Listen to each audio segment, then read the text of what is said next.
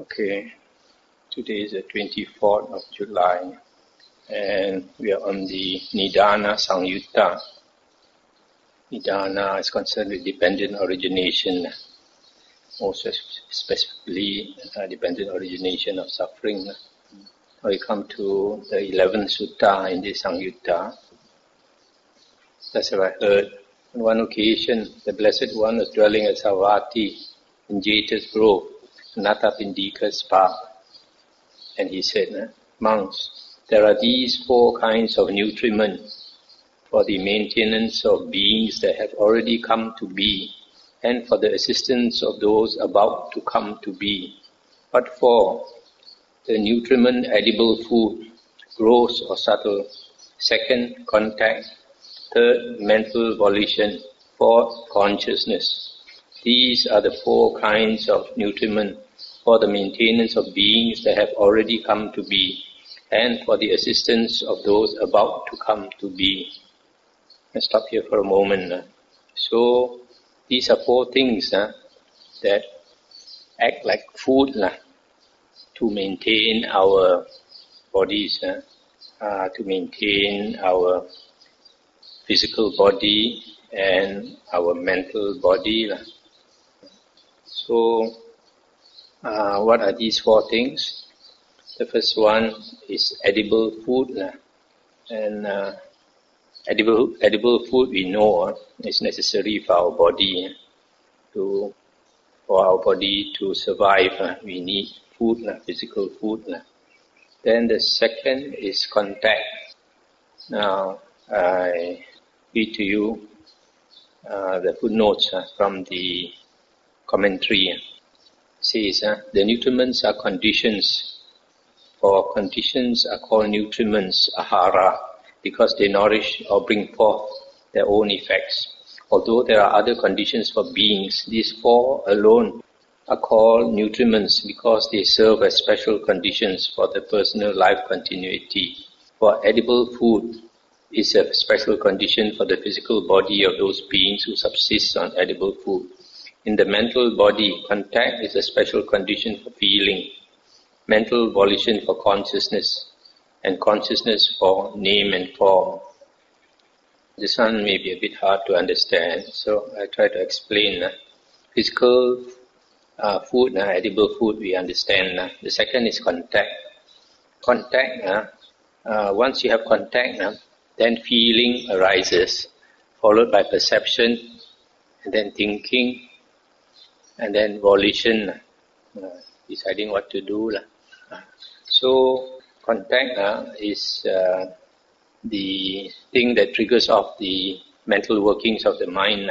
Uh, so uh, that's why contact is a nutriment for our mental body.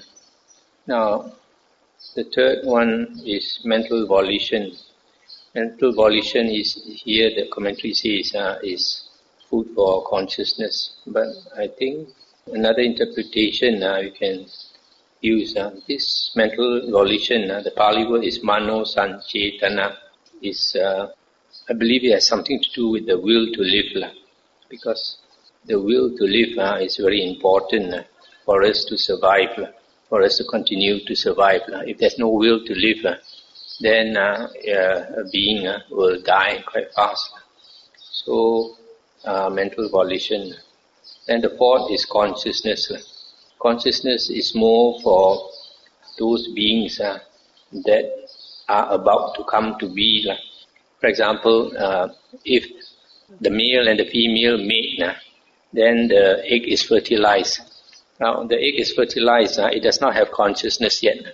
So, this uh, being uh, that is uh, due to be born in the womb, uh, he will enter enter this fertilized egg. And then that consciousness descends into that fertilized egg. Uh, that is the condition, uh, the nutriment uh, for that being to come into life. No? Uh, now I come back to this uh, contact and mental volition. This contact, without contact, you can see how contact is a is a food, uh, is a necessary condition. Uh. For example, if a person is imprisoned, you put somebody in a prison uh, and you cut him off from contact from other people, and you cut him off from contact even with the sunlight, put him in a dark room, with nobody to speak to, no contact altogether, very soon uh, this person will die.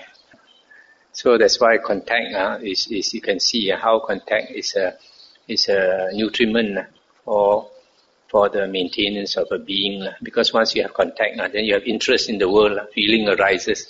Uh, uh, there are things in the world that you perceive through your six senses. Uh, uh all this is contact. The the world is perceived through contact at the six sense doors. so because we have interest in the world, then we, we, we want to survive the will to live uh, is generated. Uh. On the other hand, uh, you consider another prisoner under the same circumstances. He's put in isolation in a room. Uh, he's cut off from contact uh, from everybody else and even the sunlight light uh, and no sound, nothing. And although he should die very soon, there are some people who will survive. Why?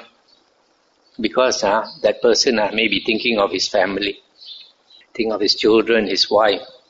So when he thinks, uh, this of course comes from his memory, uh, doesn't come from contact, comes from his memory. Uh, so when this uh, memory uh, of the family is generated, the will to live is very strong. So because of the will to live, even though he should die, he will hold on to life. So this, I believe, is the is this the third uh, nutriment mentioned here, mental volition is the will to live.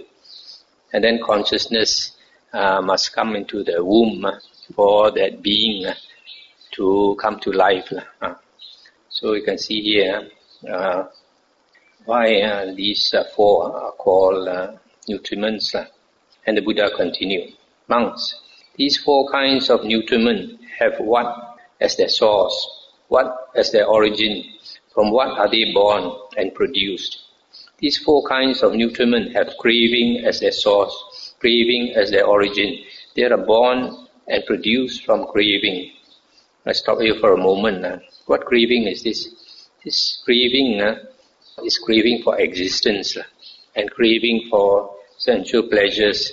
Uh, because of this craving, uh, so we want to continue with life. Uh. And the Buddha continues. And this craving has what as its source, what as its origin, from what is it born and produced. This craving has feeling as its source, feeling as its origin. It is born and produced from feeling.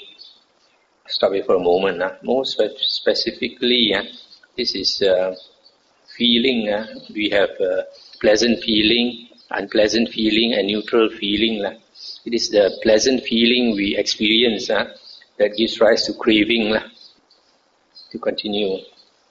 And this feeling has what as its source? Feeling has contact as its source. And this contact has what as its source? Contact has the six sense bases as its source. And these sense six and these six sense bases have what as their source? The six sense bases have mentality, materiality, phenomena as their source. And this mentality, materiality has what as its source? There's consciousness as its source. And consciousness has volition as its source. And volition has ignorance uh, uh, as its source. Thus monks, with ignorance as condition, volition comes to be. With volition as condition, uh, consciousness, etc., etc. Such is the origin of this whole mass of suffering. But with the remainderless fading away and cessation of ignorance comes cessation of volition. With the cessation of volition, cessation of consciousness, etc., etc. Such is the cessation of this whole mass of suffering. Uh, so here, so this this sutta is about the four nutriments, uh, how uh, they feed our physical body and our mental body and uh, how they are necessary for beings to continue. The next sutta is 12.12. At Savatthi, the Buddha said, Monks, there are these four kinds of nutriment for the maintenance of beings that have already come to be and for the assistance of those about to come to be. What for? The nutriment edible food, gross or subtle, Second, contact. Third, mental volition. Fourth, consciousness. These are the four kinds of nutriment for the maintenance of beings that have already come to be and for the assistance of those about to come to be. When this was said, the Venerable Moliya Phagguna said to the Blessed One, Venerable Sir, who consumes the, the nutriment consciousness? Because he taught, uh, consciousness is a nutriment, who consumes it? Then the Buddha said, not a valid question. I do not say one consumes. If I should say one consumes, in that case, this would be a valid question. Venerable Sir, who consumes? But I do not speak thus. Since I do not speak thus, if one should ask me, Venerable Sir, for what is the nutriment consciousness a condition? This would be a valid question. To this, the valid answer is, the nutriment consciousness is a condition for the production of future renewed existence. When that which has come into being exists, the six sense bases come to be. With the six sense bases as condition, contact. I stop here for a moment. So here, you see, eh, consciousness is a condition for the production of future renewed being or existence. So just like I mentioned just now, the uh, egg in the womb is fertilized. Then new, uh, consciousness must come in into that fertilized egg, and then it produces renewed existence. Uh, that being lodges itself in that uh, uh, fertilized egg. Mm. And then once that consciousness has come into that egg, then slowly the six sense bases are produced. Mm. Now, if we we think about it, this is not the only case of consciousness uh, producing uh, renewed existence. Because uh, consciousness uh, in the Buddha's teaching uh, is not a constant flow, you know. It's not a constant flow. Consciousness in the Buddha's teaching uh, is momentary. Consciousness arises and passes away. Arises and passes away. Arises and passes away. Right? Uh, so, whenever consciousness arises, uh, that that being comes into existence, right? And that being is alive when consciousness arises. And then when consciousness ceases, uh, momentarily uh, that being dies. Uh. And then when consciousness arises again, uh, that being has come into life and then it dies. But because this consciousness arises and passes away so fast uh, that it would seem as though uh, this is a continued consciousness, lah, a stream of continued consciousness. Uh, but it is not so. Lah. Now, if we think carefully about it, nah, every time this consciousness arises and passes away, yeah, why does it arise again? Why does it arise again? I think uh, it is the will to live. Because of the will to live, the moment consciousness uh, dies out, uh, it has come into life again because of the will to live. That's why you see the chain of dependent origination, avijja, paccaya, sankhara, ignorance, conditions, volition, and volition conditions consciousness, right? Mm. So this volition is the will to live. The will to live uh, conditions consciousness to spring into life. Mm. And then it dies out in a short moment. And then because of the will to live, uh, it arises again. So dependent origination uh, can be considered like the traditional interpretation, three lives or two lives, uh, but it can be considered right here and now, uh, in this very life, uh, moment to moment. Uh, you have you, you can consider in that way. And then this Venerable Moliya Phagguna asks, Venerable Sir, who makes contact? And the Buddha said, not a valid question. I do not say one makes contact. If I should say one makes contact, in that case, this would be a valid question. Venerable Sir, who makes contact? But I do not speak thus. Since I do not speak thus, if one should ask me, Venerable Sir, with what as condition does contact come to be? This would be a valid question. To this, the valid answer is, with the six sense bases as condition, contact comes to be. With contact as condition, feeling. And stop here for a moment. Huh? So here you see, contact huh, means contact at the six sense doors. Lah. So in order that you can that contact can arise, huh, of course you must have the six sense doors. Lah. That means you must have the six sense bases. Lah. And once there is contact at the six sense bases, huh, then uh, feeling arises. Venerable Sir, who feels? Not a valid question, the Blessed One replied. I do not say one feels. If I should say one feels, in that case, this would be a valid question. Venerable Sir, who feels? But I do not speak thus. Since I do not speak thus, if one should ask me, Venerable Sir, with what as condition does feeling come to be? This would be a valid question. To this, the valid answer is, with contact as condition, feeling comes to be. With feeling as condition, craving so we uh, stop here for a moment. Uh. So, uh, as we mentioned before, uh, if you have pleasurable feeling, then craving arises. Remember, sir, who craves? Not a valid question, the Blessed One replied. I do not say one craves. If I should say one craves, in that case, this would be a valid question. Remember, sir, who craves? But I do not speak thus. Since I do not speak thus, if one should ask me, Venerable Sir, with what as condition does craving come to be? This would be a valid question. To this, the valid answer is, with feeling as condition, craving comes to be. With craving as condition, clinging. With clinging as condition, existence or being, etc., etc. Such is the origin of this whole mass of suffering. But Phagguna, with the remainderless fading away and cessation of the six sense of the six bases for contact, comes cessation of contact. With the cessation of contact, cessation of feeling. With the cessation of feeling, cessation of craving. With the cessation of craving, cessation of clinging. The cessation of clinging, cessation of being. With the cessation of being, cessation of birth. With the cessation of birth, aging and death, sorrow, lamentation, pain, displeasure and despair cease. Such is the cessation of this whole mass of suffering. Now that's the end of the sutta. So here, this sutta, uh, the Buddha says, uh, there is no being. Uh, uh, is what the Buddha implies. Uh, so because of that, uh, you cannot say who consumes, uh, or who feels, uh, or who makes contact, etc. Uh, so uh, it's just that these uh, conditions uh, just arise naturally. Mm. It's just the, the perception of a being uh, is just a perception in our mind. Now we come to the 15th sutta in this Nidana, Nidana Samyutta at Savatthi.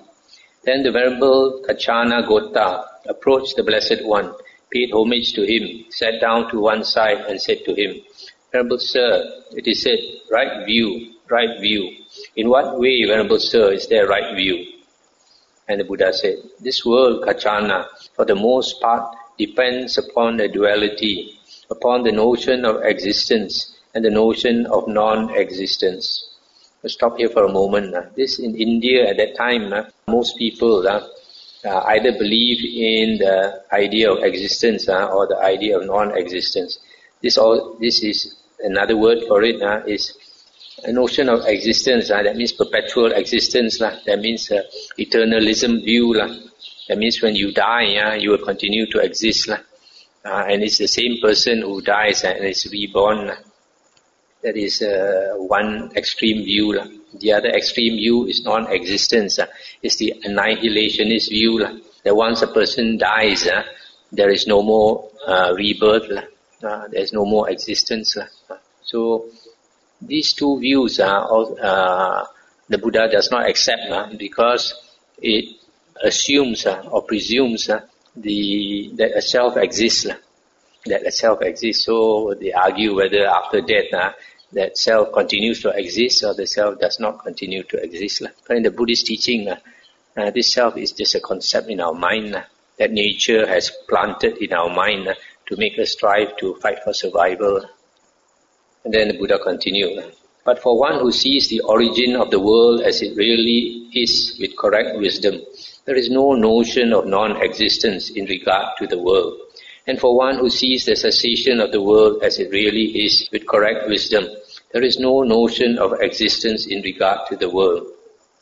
This world, Kaccana, is for the most part shackled by engagement, clinging and adherence. But this one with right view does not become engaged and cling through that engagement and clinging stand, mental standpoint, adherence, underlying tendency. He does not take a stand about myself. He has no perplexity or doubt that what arises is only suffering arising. What ceases is only suffering season, ceasing. His knowledge about this is independent of others. It is in this way, Kaccana, that there is right view. All exists, Kaccana, this is one extreme. All does not exist, this is the second extreme. Without veering towards either of these extremes, the Tathagata teaches the Dhamma by the middle. With ignorance as condition, volition comes to be. With volition as condition, consciousness etc., etc. Such is the origin of this whole mass of suffering. But with the remainderless fading away and cessation of ignorance comes cessation of volition. With the cessation of volition, cessation of consciousness, etc., etc. Such is the cessation of this whole mass of suffering. So the Buddha says uh, that uh, the Buddha's way of seeing uh, is not whether a self exists after death or not, but everything is due to conditions. This world, everything in this world is uh, conditionally arisen, dependently arisen, dependent on conditions. 12.16 At Savatthi, then a certain monk approached the Blessed One, paid homage to him, sat down to one side and said, Venerable Sir, it is said, a speaker on the Dhamma, a speaker on the Dhamma. In what way, Venerable Sir, is one a speaker on the Dhamma? Monk, if one teaches the Dhamma for the purpose of revulsion towards aging and death, for its fading away and cessation, one is fit to be called a monk who is a speaker on the Dhamma. If one is practicing for the purpose of revulsion towards aging and death, for its fading away and cessation, one is fit to be called a monk who is practicing in accordance with the Dhamma. If through revulsion towards aging and death, through its fading away and cessation, one is liberated by non-clinging. One is fit to be called a monk who has attained Nibbana in this very life. Monk, if one teaches the Dhamma for the purpose of revulsion towards birth, for the purpose of revulsion towards ignorance, for its fading away and cessation, one is fit to be called a monk who is a speaker on the Dhamma. If one is practicing for the purpose of revulsion towards ignorance, for its fading away and cessation. One is fit to be called a monk who is practicing in accordance with the Dhamma.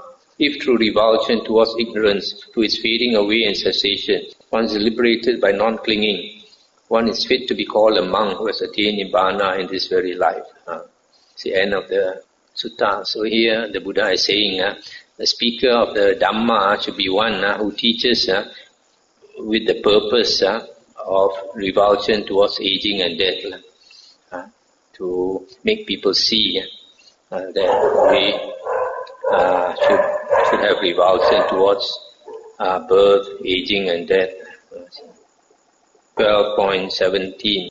Thus have I heard. On one occasion, the Blessed One was dwelling at Rajagaha in the bamboo grove, the squirrel sanctuary. Then in the morning, the Blessed One dressed and taking bowl and robe, entered Rajagaha for alms. The naked ascetic saw the Blessed One coming in the distance. Having seen him, he approached the Blessed One and exchanged greetings with him. When they had concluded their greetings and cordial talk, he stood to one side and said to him, We would like to ask Master Gotama about a certain point, if he would grant us the favor of answering our question. Stop here for a moment. You see, the Buddha was going on alms round.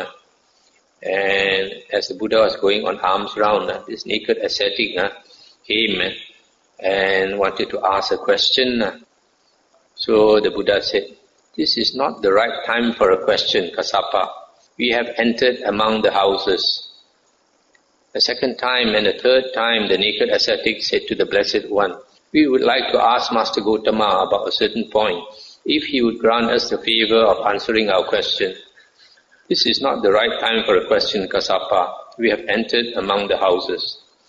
Then the naked ascetic Kassapa said to the Blessed One, We do not wish to ask Master Gotama much. Then the Buddha said, Then ask what you want, Kassapa. How is it, Master Gotama? Is suffering created by oneself? Not so, Kassapa, the Blessed One said. Then, Master Gotama, is suffering created by another? Not so, Kassapa, the Blessed One said. How is it then, Master Gotama? Is suffering created both by oneself and by another? Not so, Kassapa, the Blessed One said. Then Master Gotama, has suffering arisen fortuitously, being created neither by oneself nor by another? Not so, Kassapa, the Blessed One said. How is it then, Master Gotama? Is there no suffering? It is not that there is no suffering, Kassapa. There is suffering. Then is it that Master Gotama does not know and see suffering?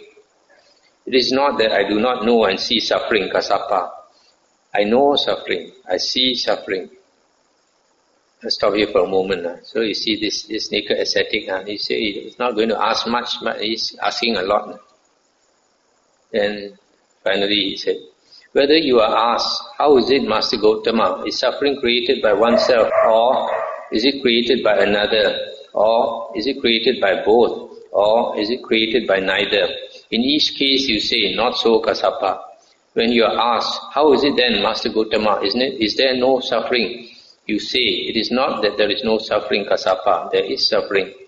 When asked, then is it that Master Gotama uh, does not know and see suffering? You say, it is not that I do not know and see suffering, Kassapa. I know suffering, I see suffering. Venerable Sir, let the Blessed One explain suffering to me. Let the Blessed One teach me about suffering. And the Buddha said, Kassapa, if one thinks the one who acts is the same as the one who experiences the result, then one asserts with reference to one existing from the beginning, suffering is created by oneself. When one asserts thus, this amounts to eternalism. But Kassapa, if one thinks the one who acts is one, the one who experiences the result is another, then one asserts with reference to one stricken by feeling, suffering is created by another. When one asserts thus, this amounts to annihilationism. Without veering towards either of these extremes, the Tathagata teaches the Dhamma by the middle, where ignorance has conditioned volition comes to be, with volition as condition, consciousness, etc., etc. Such is the origin of this whole mass of suffering. But with the remainderless fading away and cessation of ignorance comes cessation of volition. With the cessation of volition, cessation of consciousness, etc. Such is the cessation of this whole mass of suffering. When this was said, the naked ascetic Kassapa said to the Blessed One, Magnificent Venerable Sir, Magnificent Venerable Sir, the Dhamma has been made clear in many ways by the Blessed One, as though he were turning upright what had been turned upside down, revealing what was hidden, showing the way to one who was lost, or holding up a lamp in the dark for those with eyesight to see forms. I go for refuge to the Blessed One, and to the Dhamma, and to the Bhikkhu Sangha. May I receive the going forth under the Blessed One. May I receive the higher ordination.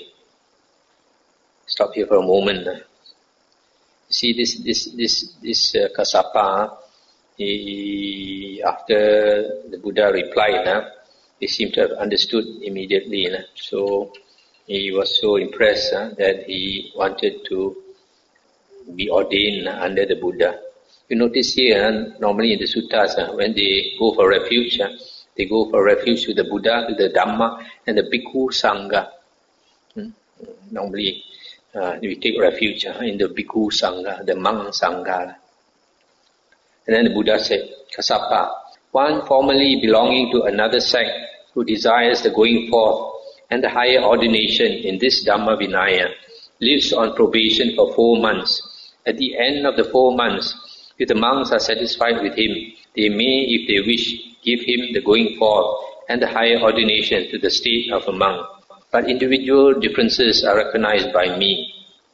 And he said, if, Venerable Sir, one formerly belonging to another sect who desires the going forth and the higher ordination in this Dhamma Vinaya lives on probation for four months, and if at the end of the four months the monks being satisfied with him may, if they wish him, give him the going forth and the higher ordination to the state of a monk. Then I will live on probation for four years. At the end of the four years, if the monks are satisfied with me, let them, if they wish, give me the going forth and the higher ordination to the state of a monk. Then the naked ascetic Kassapa received the going forth under the Blessed One, and he received the higher ordination. Let's stop here for a moment. Ah. So because this person was so sincere, ah, he said, ah, if normally people have to wait four months to be ordained, I'm willing to wait four years. So the Buddha saw that he was so earnest, so sincere, the Buddha immediately ordained him. And soon, not long after his higher ordination, dwelling alone, withdrawn, diligent, ardent and resolute, the Venerable Kassapa, by realizing it for himself with direct knowledge in this very life, entered and dwelt in that unsurpassed goal of the holy life, for the sake of which clansmen rightly go forth from the household life into homelessness. He directly knew, destroying his birth, the holy life has been lived. What had to be done has been done. There is no more for this state of being. And the Venerable Kassapa became one of the Arahants. It's the end of the sutta. So here he was asking uh, whether suffering is created by oneself or created by the by another person, another being. Uh. And basically, the Buddha wanted to tell him uh, that suffering is not created by anybody, yeah, but created by conditions. Uh, so I explained dependent origination to him, and then he understood and decided to renounce.